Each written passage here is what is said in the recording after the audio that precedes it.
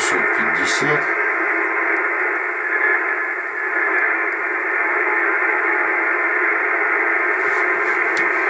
Подойди сюда. Покажи. Вот S-метр, смотрите. Давлю шум.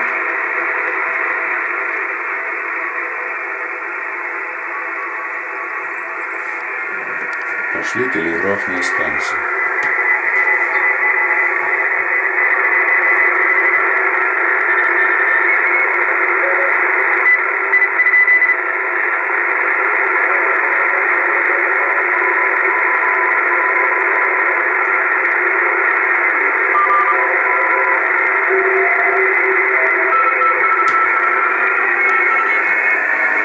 Насколько проблематично при шуме, смотрите сами.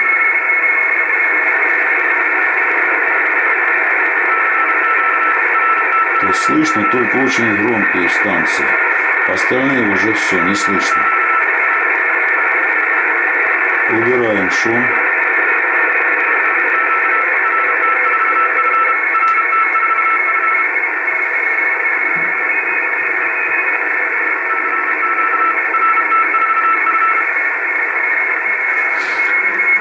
Я говорю еще раз, что эта антенна микро малая. Эта антенна чисто показывает просто возможности, как можно из дома, из многоэтажки полностью давить антишум.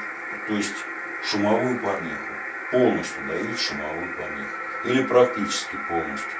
И принимать, это сейчас работает 160-метровый диапазон.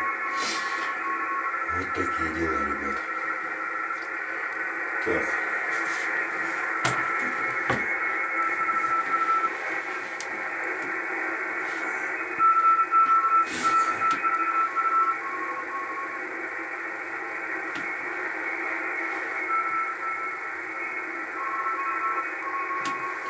Сейчас работают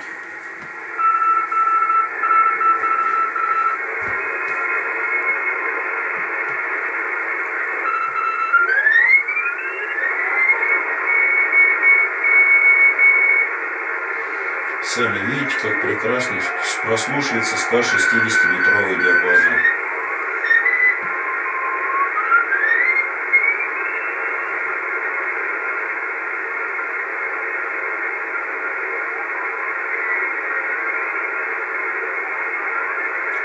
Сейчас проходят какие-то соревнования, соответственно, в общем, станций много, и поэтому очень удобно. А вот 80 почему-то... Так, по поводу э, станций, работающих микрофоном, сейчас пройдем, посмотрим.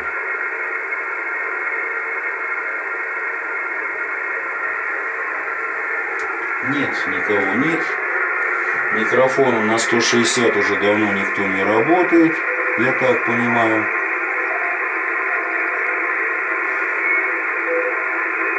Поэтому, в общем-то,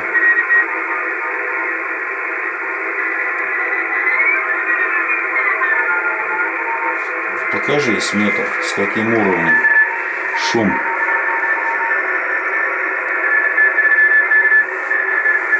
Так. Или вот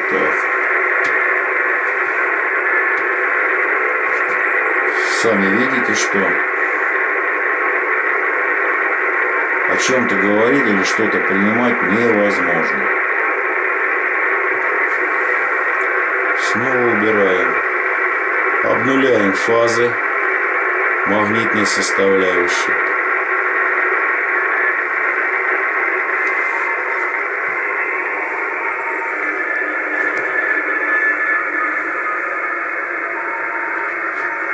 И станции пошли. Вот аналогично это на всех диапазонах, значит. На всех диапазонах работает таким вот образом антенна. То есть по такому принципу. То есть фазная и противофазная, ближнее поле уничтожают друг друга. Я имею в виду магнитные составляющие. А электрическая составляющая ослаблена электростатическим экраном. То есть даже здесь вот он никакого влияния не оказывает, потому что основная антенна находится внутри рамки.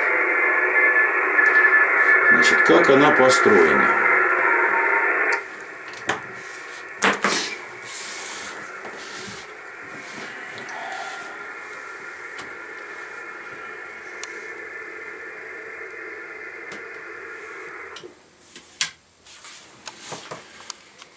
Так, сейчас мы это дело раскидаем. Очень-очень быстренько.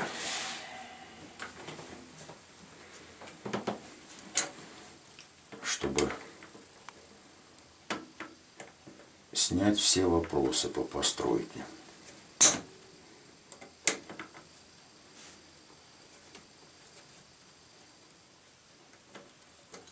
Я специально здесь оставил такие по нескольку. Не совсем все это дело закручивал, поэтому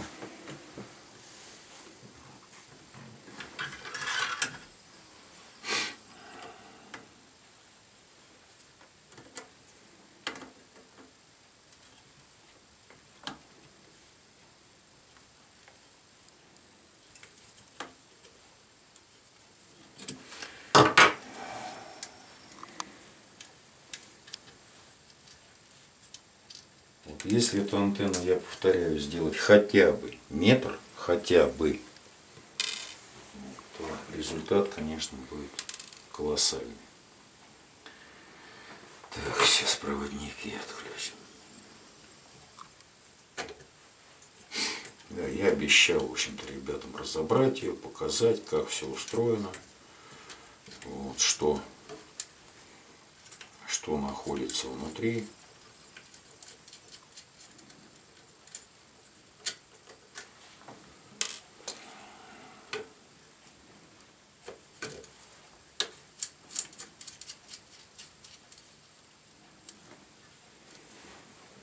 Это много времени нас не займет. Посмотрим, как устроен трансформатор. Все разберем. Трансформатор сделан у меня значит, в коробочке от какого-то крема. У хозяйки я стащил использованную. Вот, так что баночку. И там разбестил трансформатор. Вот когда я показывал в предыдущем видео, какой феррит применять для приемных антенн, абсолютно любой, ребят, какой у вас есть, такой применяйте. На УКВ диапазоне я показывал в одном из роликов необычная антенна, как работает двухтысячный НМ на УКВ диапазоне. То есть уровни сигналов достаточно маленькие, принимаемых сигналов, то есть магнитопровод перемагничивается, он не входит в насыщение и на прием работает абсолютно любой феррит. Так, значит,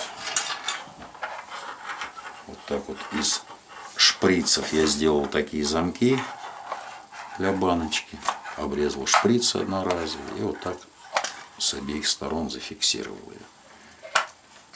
Все очень удобно. Так, снимаем.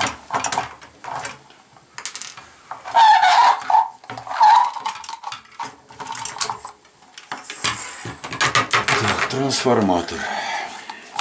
Да надо посветлее.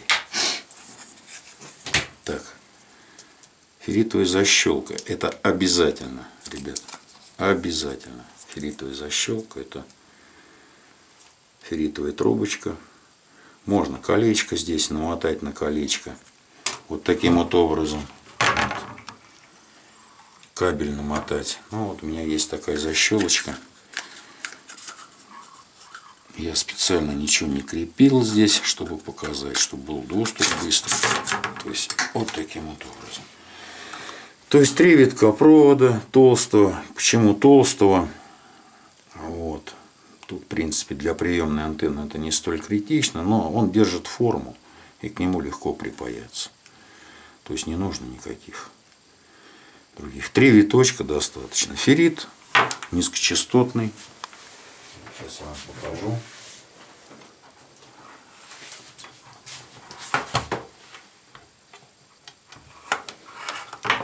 Чтобы узнать, какой феррит, достаточно его поставить на 2 мегаома, на мегаом, если нет на 200 килоом, у кого какой прибор. Вот на 2 мегаома ставим и звоним. Видите, он звонится. Этот феррит на передачу не годится. На прием он работать будет. На передачу он работать не будет. Этот феррит в защелке не звонится. Это высокочастотный феррит. Вот на нем можно сделать трансформатор или что-то еще. Это не все такие ферриты. Вот. Но я обычно применяю вот такие вещи. Это магнитопроводы от старых телевизоров с прямой чашкой. Система ОС, отклоняющая система телевизора. То есть она не звонится. Вот это кольцо очень хорошо подойдет для трансформаторов. Вот его можно использовать для передачи. То есть если поставить такое кольцо вместо вот этого филита, то антенну можно использовать, допустим, до двадцатки на передачу. Подключив не внутренним проводникам галетный переключатель, а к оболочке. То есть использовать классическую магнитную рамку. И трансформатор будет находиться также в точке симметрии, вот, и в точке смены фаз напряжений, вот, соответственно, в точке тока. Так, и вот такие вот от ОС горшки, наверняка у многих есть они. Сейчас мы их проколем тоже. Вот так, щелк, щелк. Он тоже не звонится. Вот этот феррит годится для передачи. Вот такой феррит на передачу не годится. А для приемной антенны, если кто будет повторять такую антенну, я говорю, любой абсолютно, первый попавшееся кольцо берете, три витка мотаете на нем, и все будет нормально.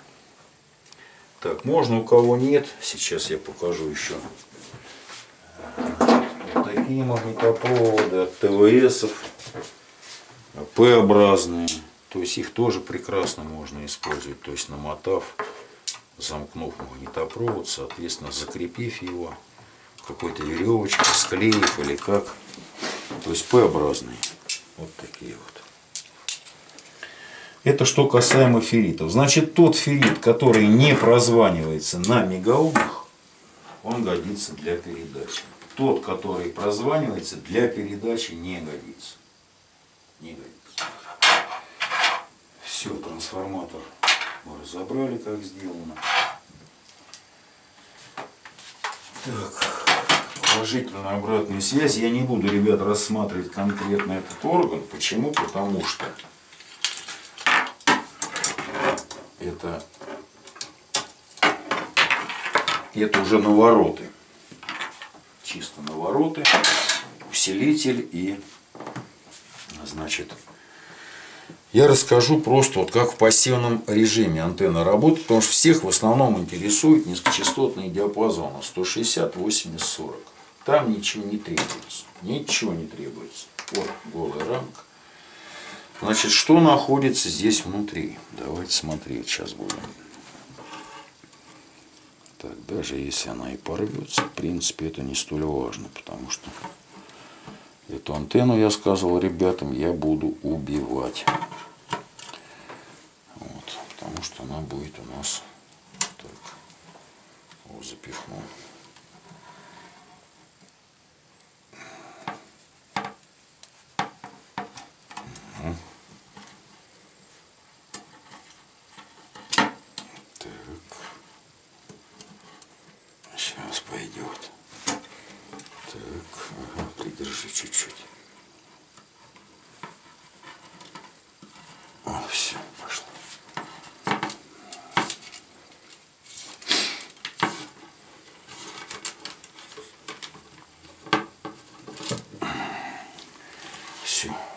Все. хлохоп убирай, ставь куда-нибудь. Значит, что мы имеем здесь? Нет, ты иди сюда поближе. Вот те катушки, о которых я говорил. Вот она покрыта. Сейчас я вам покажу. Я экспериментировал с разными катушками. Вот я нашел для себя такой оптимум. То есть вот эти индуктивности бескаркасные. Вот. И вот это бескаркасная. То есть толстый провод намотан и упакован. А вот здесь, вот здесь, там фокус есть нормальный. Вот здесь находится вот такая вот катушечка. Вот. Она выполнена вот из этого же кабеля. Сейчас я покажу, как она сделана. Специально подготовил. Посмотри, вот это сними. То есть отрезается вот это, это центральная жила кабеля РК-75 со, снятой, со снятым чулком, со снятым экраном. Вот.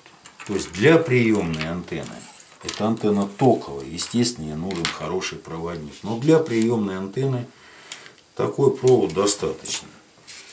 Вот эти вот